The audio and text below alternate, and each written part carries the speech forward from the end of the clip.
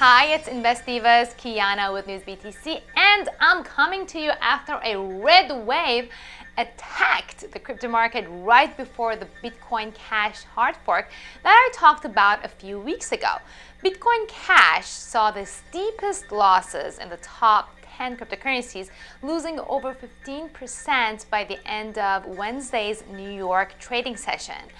Bitcoin tested below the $6,000 psychological support level and briefly touched the lows of back in 2017 at $5,682, creating a great buying opportunity.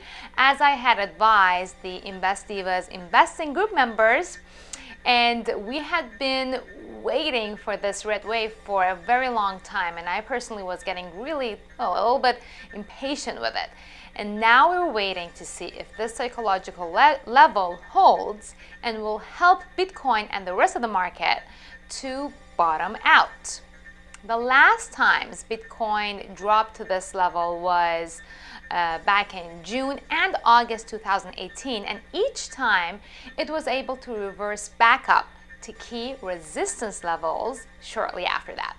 This time around, the upcoming moves may significantly depend on the Bitcoin Cash hard fork. So far, Coinbase is planning to monitor the event closely and potentially even shut down Bitcoin Cash trading ahead of the hard fork in order to minimize customer dis uh, disruption. The exchange had already announced that all payments and receipts of Bitcoin Cash in the Coinbase wallet would be paused on their platform beginning uh, 8 a.m. on Thursday morning, which is the day of the hard fork.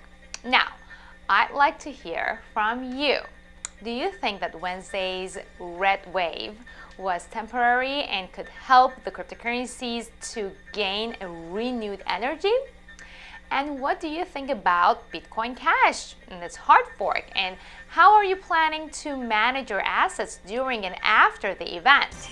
Let me know down here in the comments, subscribe for more, and I'll see you next time with more updates.